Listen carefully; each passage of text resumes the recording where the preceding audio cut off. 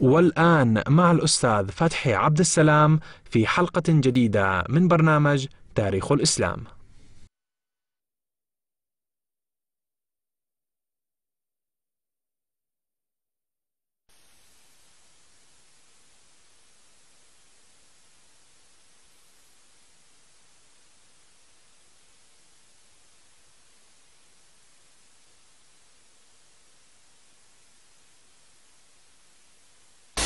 أيها الكرام المشاهدون أشهد أن لا إله إلا الله وحده لا شريك له وأشهد أن محمدا عبد الله ورسوله. اللهم صل على محمد وعلى آل محمد كما صليت على إبراهيم وعلى آل إبراهيم وبارك على محمد وعلى آل محمد كما باركت على إبراهيم وعلى آل إبراهيم. في العالمين إنك حميد مجيد. عن تاريخ الإسلام نتحدث وسوف نتم اليوم حديثنا ونتكلم عن توقف فتوحات الإسلام عند نهايات عهد الدولة الأموية. لقد استؤنفت بعض الفتوحات بعد ذلك لكن الفتوحات العظمى والكبرى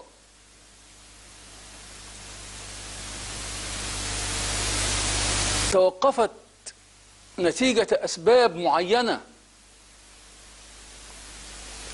ولم تتوقف من تلقاء ذاتها.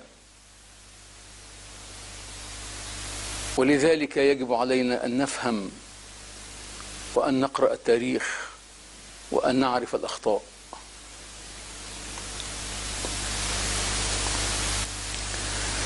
هناك أبطال مسلمون في تاريخ الفتوحات الإسلامية. يمكننا أن نقول إنه قد تم إحباطهم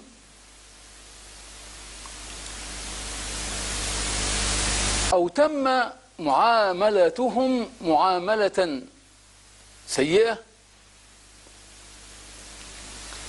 بحيث تم حرمان الإسلام والإنسانية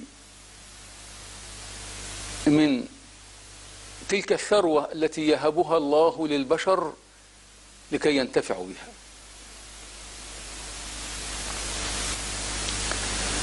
من هذه الثروات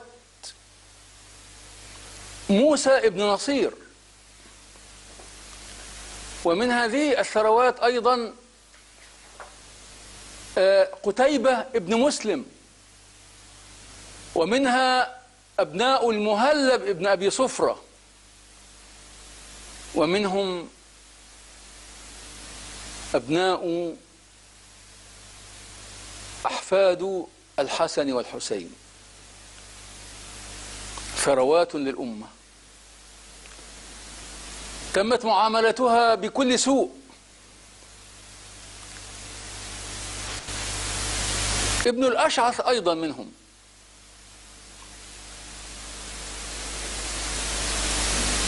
الله عز وجل لما أنعم علينا بالخلافة فائدة الخلافة أنها لا تضيع هذه الثروات. تعاملهم معاملة حسنة وتحافظ عليهم وعلى أولادهم وعلى أحفادهم. والكل يتفهمون وهناك السمع والطاعة وهناك البركة الربانية والنعمة الربانية والإلهام والتأليف تأليف القلوب من الله عز وجل بحيث يظل الناس يعيشون بطريقة معقولة وبطريقة طبيعية.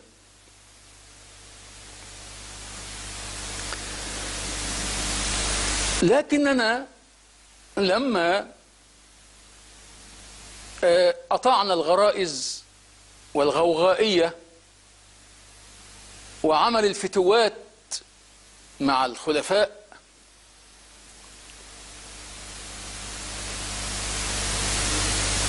جاء حكام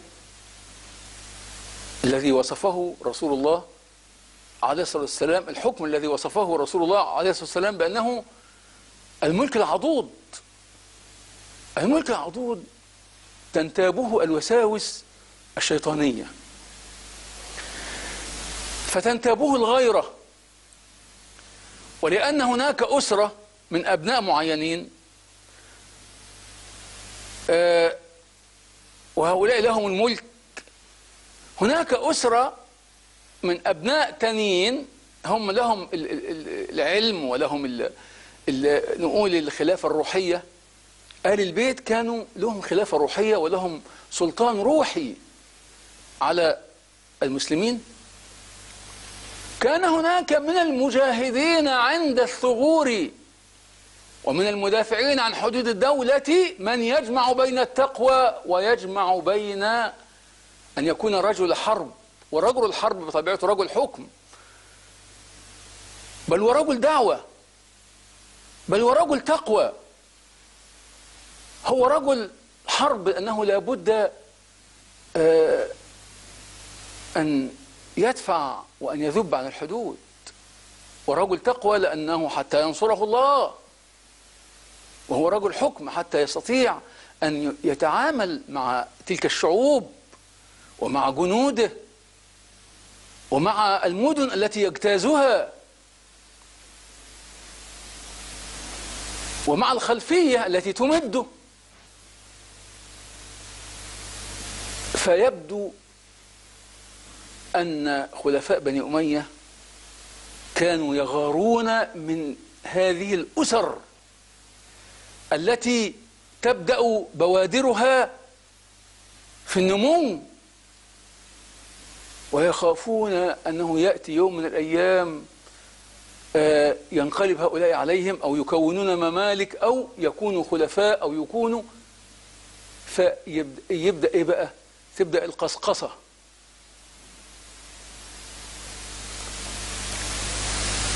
لما نقرأ في التاريخ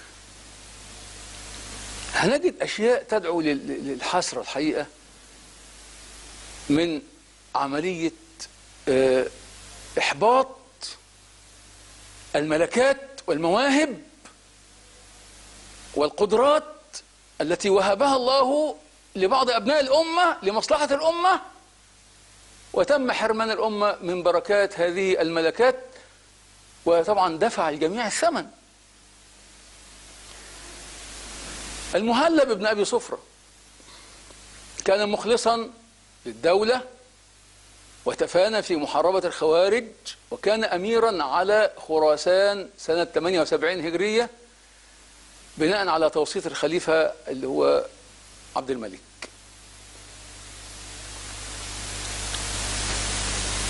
وبعدين بدأ سنة 78 مرة أخرى دي عودة ليه؟ بدأ يرسل جحافل الجنود وعبر نهر بلخ أو نهر سيحون وظل يغزو في سمرقند وبخارى وطخارستان وبست وإذا غنم غنيمة قسم أربع تخماس على الجيش والخمس للحجاج ابن يوسف الثقفي. أنجب المهلب مجموعة من الأبناء النجباء وربهم تربية عسكرية وتربية صالحة وكان منهم يزيد ابن المهلب. وجهه لقتال بلاد اسمها بلاد الختل. وكان ملك هذه البلاد اسمه الشبل والذي رغبه في غزو هذه البلد هو ابن عم الملك.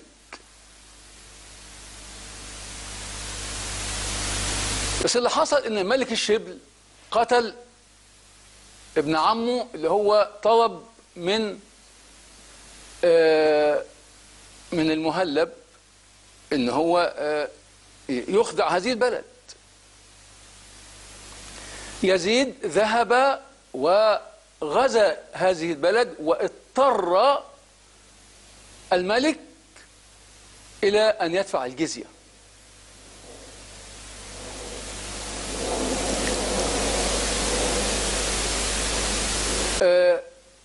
حبيب ابن المهلب ابن أبي صفرة أرسله أبوه إلى منطقة أخرى في منطقة بخارى ومعه أربعون ألفا من الجنود وعاد منتصرا.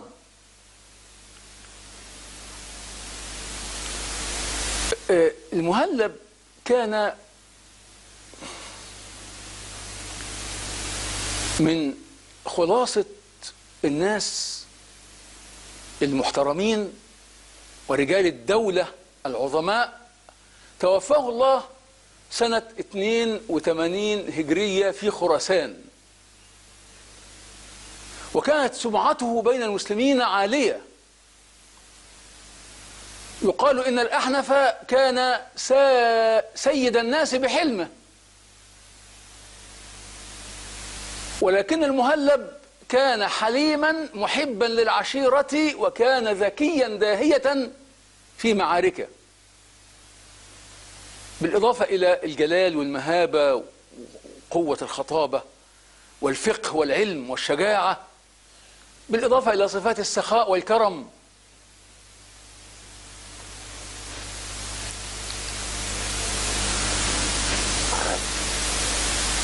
بيقولوا يعني كقصة من قصص التي تدل على حلمه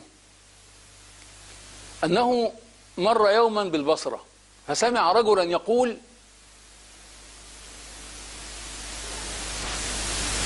هذا أعور قد ساد الناس ولو خرج إلى السوق لا يساوي أكثر من مئة درهم.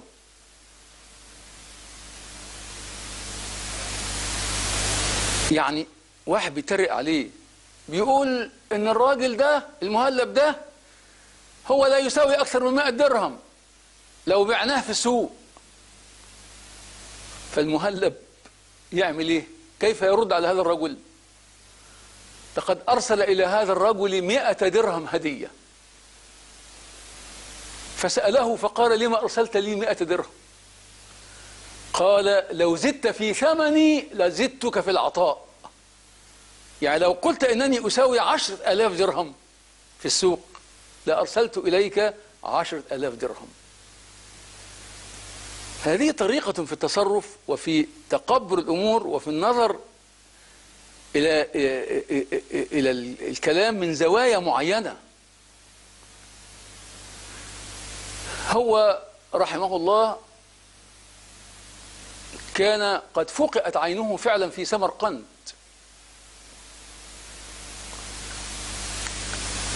من كلامه الذي يعني يؤثر عنه أنه قال الحياة خير من الموت والثناء خير من الحياة. آه بيقول في بعض الكلمات اللي هو مأثور عنه برضو بيقول أدنى أخلاق الشريف كتمان السر. وأعلى أخلاق الشريف أن ينسى ما أسر إليه. هذا الرجل عندما جاءته الوفاة دعا ابنه حبيبا ومن حضره من ولده ودعا بسهام وحزمها وقال أفترونكم كاسريها مجتمعة؟ قالوا لا. قال أفترونكم كاسريها متفرقة؟ قالوا نعم. قال فهكذا الجماعة فأوصيكم بتقوى الله وصلة الرحم فإن صلة الرحم تنسئ في الأجل وتثري المال وتكثر العدد وأنهاكم عن القطيعة فإن القطيعة تعقب النار وتورث الذلة والقلة. فتحابوا وتواصلوا وأجمعوا أمركم ولا تختلفوا وتباروا وتباروا تجتمعوا وتباروا تجتمع أموركم. تباروا يعني فليبر أحدكم الآخر.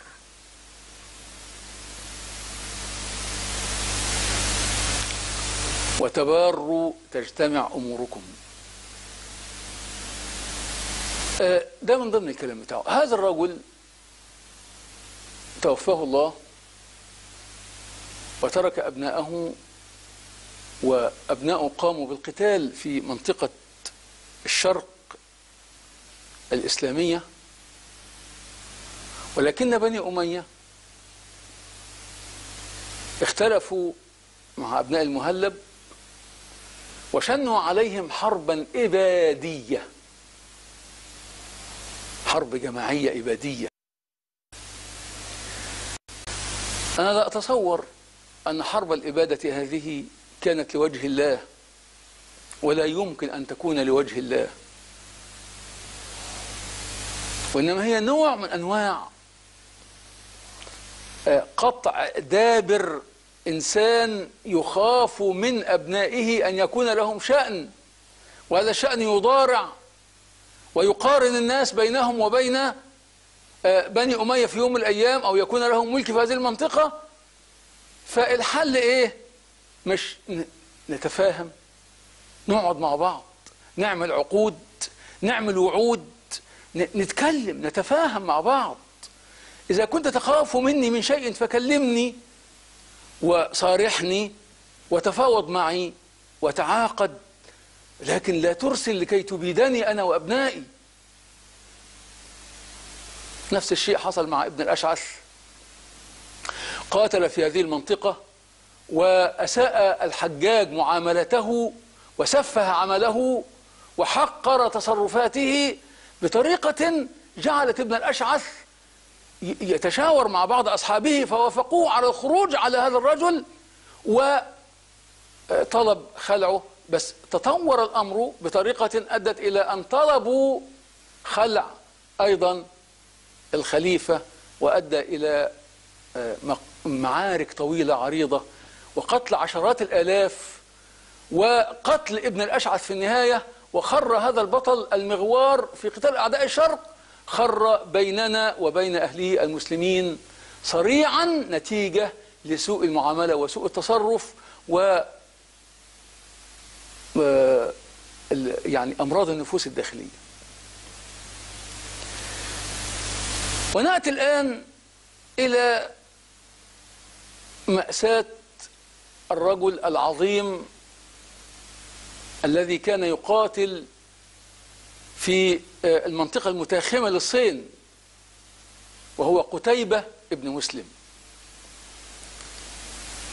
ونهايته المأساوية سنة 96 هجرية. هذا الرجل يعتبر فاتح سمرقند ويعني مقر الاستقرار الإسلامي فيها وبخارى وأفغانستان الحالية وقشغر وحدود الصين.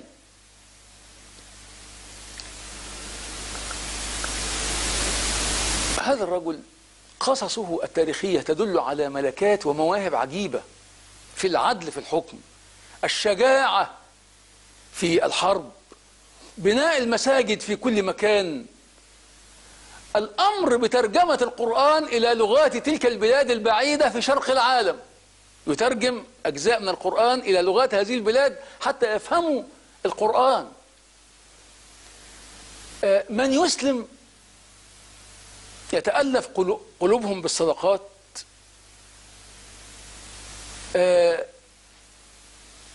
كانوا يعتقدون في الأصنام اعتقادات غريبة عجيبة ويجبنون من مسا من المساس بها على أساس أن هذه الأصنام فيها قوى غريبة روحانية غيبية ربما شيطانية. فكان يتولى بنفسه هدمها أمامهم لكي يؤكد لهم أن هذه الأصنام لا تضر ولا تنفع.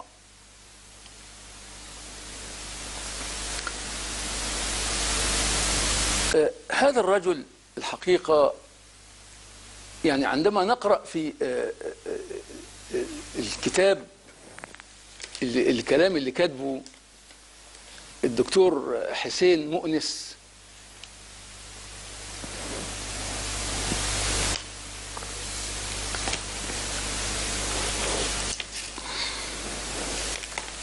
عن الفتوحات التي قام هذا الرجل بفتحها.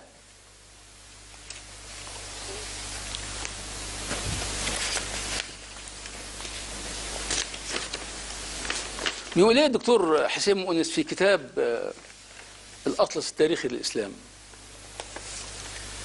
يقول فتوح قتيبة ابن مسلم. في سنة 86 هجرية ولا الحجاج قتيبة بن مسلم الباهلي. قبيلة باهلة كانت قبيلة الناس تستهتر بيها لا يعتبرونها من القبائل العظمى. ولكن هذا الرجل كان فخرا لهذه القبيلة وأثبت ما يصنع الإسلام. ولي الحجاج ولى الحجاج قتيبة بن مسلم الباهلي خراسان وبلاد الشرق فظل واليا عليها حتى سنة آه تقريبا 96 أو 99 هجرية. وهو صاحب الفضل الأكبر في فتوح ما وراء النهر. سار قتيبة على نفس الخطة التي سار عليها آل المهلب وهي خطة الضربات السريعة المتلاحقة على الأعداء فلا يترك لهم وقتا للتجمع ووضع الخطط لمواجهة العرب. وقد امتاز على المهالبة بأنه كان يضع لكل حملة خطة ثابتة ويحدد لها وجهة معينة ويجتهد في الوصول إلى مقصده غير عابئ بالمصاعب معتمدا على بسالته النادرة وروح القيادة التي امتاز بها وإيمانه العميق بالإسلام. بدأ الأول بحملة على طخارستان السفلى فاستعادها وثبت أقدام المسلمين فيها سنة 86 هجرية. ثم حملته الكبيرة على بخارى فيما بين سنة 87 ل 90 هجرية حيث أتم فتح إقليم بخارى نهائيا سنة 90 المرحلة الثالثة من 91 ل 93 ثبت قواعد الإسلام في وادي نهر جيحون كله وأتم فتح سيجستان سنة 92 هجرية وفي العام التالي 93 هجرية فتح إقليم خوارزم ووصلت فتوحه إلى سمرقند وضمها إلى دولة الإسلام نهائيا. في المرحلة الرابعة امتدت من 94 إلى 96 أو 99 هجرية وقد أتم فيها قتيبة فتح حوض نهر سيحون ووصل في نهايتها إلى فرغانة.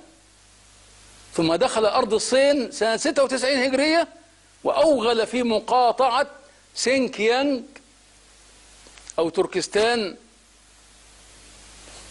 الإسلامية ووصل إلى قشغر. اسمها دلوقتي كاشي قشغر وجعلها قاعدة إسلامية وكان هذا آخر ما وصلت إليه جيوش الإسلام في آسيا شرقا. إحنا لما نتأمل نجد أن هذا الرجل كان صاحب مواهب فريدة والمفروض أن إحنا نشجعه. لكن للأسف الشديد عندما جاء سليمان بن عبد الملك وكان الشيطان يلعب به يمينا ويسارا وتذكر أن هذا الرجل كان قد وافق الوليد. الوليد بن عبد الملك. على أن يخلع سليمان من الخلافة ويولي ابنه إيه؟ عبد العزيز بن الوليد مكانه. فتذكر موافقة قتيبة للوليد على ذلك. هذه الموافقة في الحقيقة أنا أراها موافقات سورية. ولا يجوز لسليمان بن عبد الملك أن يحقد على الذين أشاروا أو وافقوا أباه. لأن أحيانا بيخافوا أنه من لم يوافق يعني أصابه شر عظيم.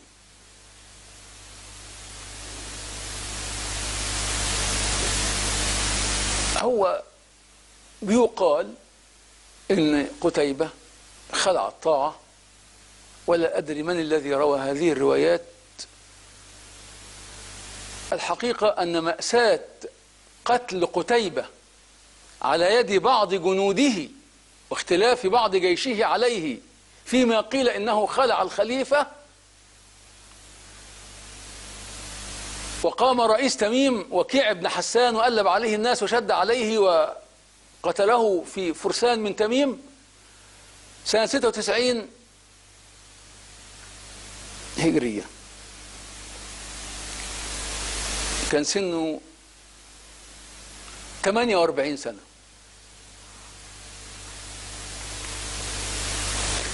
أنا أرى أن هذه الروايات تحتاج إلى تحقيق عميق. أن قائدا بلغ هذا المبلغ في نصر الله ورسوله وفي الدعوة إلى الإسلام وفي فكر ترجمات القرآن إلى لغات البلاد والتمكين للإسلام في هذه المناطق. أه وسنه 48 سنة. ماذا إذن لو عزز ونصر وكوفئ وسوند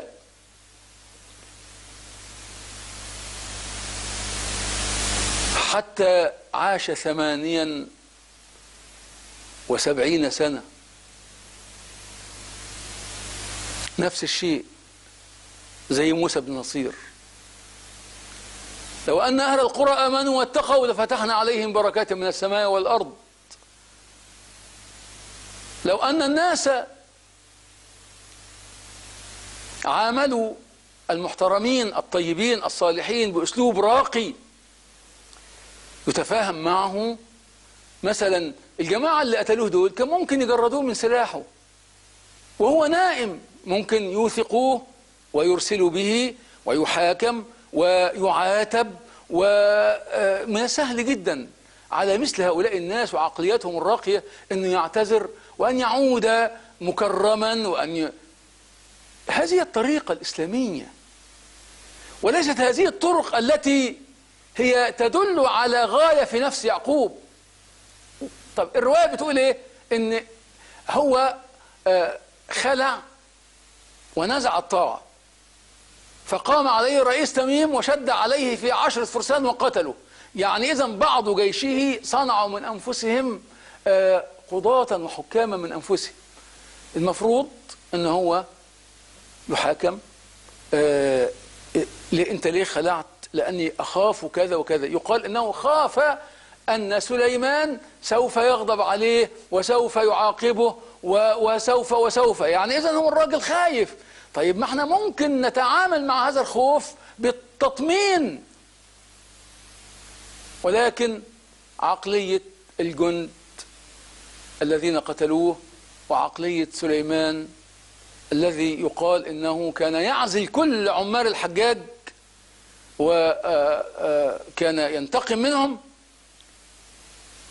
هذه كانت أمراض نفسية وكانت الأمة تحكم بهذه الأمراض النفسية التي سببت في النهاية دمار الدولة الأموية ودمار بني أمية بل ودمار العرب وخروجهم من التاريخ. في نهاية عصر الدولة الأموية كانوا قد خرجوا من التاريخ.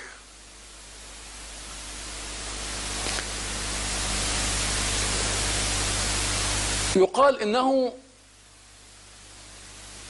آه لما خلع سليمان فأخذ يخطب في جنوده و آه يذكر لهم همته وفتوحه وعدله فيهم ويعني يرغبهم في أن يكونوا معه. فيقولون إنه لم يجيبه أحد إلى مقالته لم يجيبه أحد ولم يكلمه أحد. يقولون إنه شرع في تأنيبهم قبيلة قبيلة وذمهم قبيلة قبيلة وطائفة طائفة فنفروا عنه وتفرقوا وقرروا قتله. يعني أقل عقل. أقل عقل. يقول إن هذه حالة نفسية. أنه أصيب لما سمع بما يصنع سليمان مع القادة السابقين الذين كانوا مع الحجاج. وخاف ثم وقف هذا الموقف.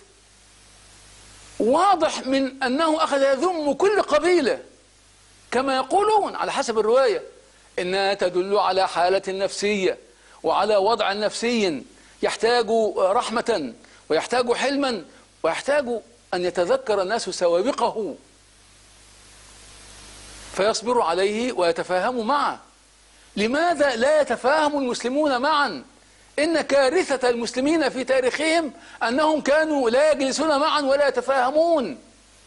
لو لو جلس بنو أمية مع آل البيت وتفاهموا معهم لحدثت خيرات عظيمة ولكان هؤلاء مستشارين لهؤلاء وعليهم أن يضغطوا على أنفسهم. إنك عندما تتفاهم مع أخيك المسلم فسوف تضطر إلى أن تنهى نفسك عن بعض ما تأمرك به الأمارة. لأنه لابد في التفاوض وفي التفاهم من تنازلات. ولو أن بني العباس تفاهموا مع بني أمية ولو أن العرب تفاهموا مع الفرس ولو أن بني العباس تفاهموا مع الفرس ولو أن الفرس تفاهموا مع بني العباس ولو أن الرشيد تفاهم مع البرامكة وكل إنسان يفضي بمخاوفه إلى الآخر وكل إنسان يظهر من نفسه حلا ونتفاوض ونصل إلى حلول وسط معا.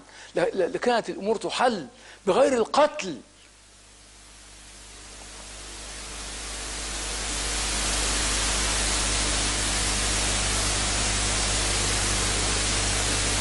قتل مع آه، قتيبة أحد عشر رجلا من إخوته وأبناء إخوته ولم يبقى منهم سوى رجل اسمه ضرار بن مسلم وعمرو بن مسلم.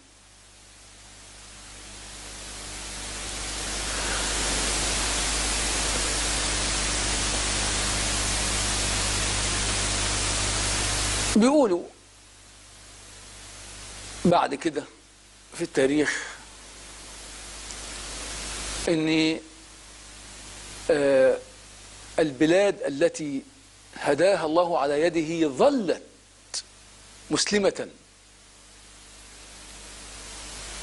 ولم يضع الله سعيه ولم يخيب تعبه ولا جهاده وظلت هذه البلاد ذخرا للإسلام والمسلمين.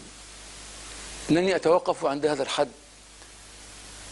لكي ألتقي بكم في الحلقة القادمة إن شاء الله عن خسارة قائد آخر من أعظم قادة الإسلام ونتج عن خسارته توقف الفتوحات الإسلامية المرة دي بقت فين؟ في منطقة الهند في الجنوب بعد أن توقفت الفتوحات في الشمال عند حدود الصين توقفت بسبب النهاية المأساوية لهذا الرجل محمد بن القاسم الثقفي القائد العظيم الصالح.